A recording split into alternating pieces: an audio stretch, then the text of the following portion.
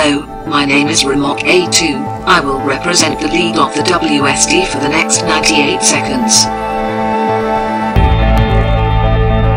My mission is to empower students to be compassionate and inspire people who act for the good of all and for the sustainable development of the world.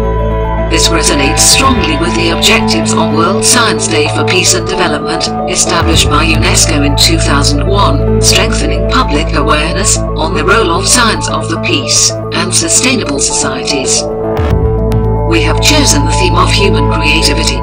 This area of interaction in the middle years program asks students to explore in multiple ways the processes and products of human creativity and to consider their impact on society and the mind. To celebrate this day, and to allow students an opportunity to explore their questions, students in grades 6 to 10 will participate in a day-long special event on Friday, November 9, 2012.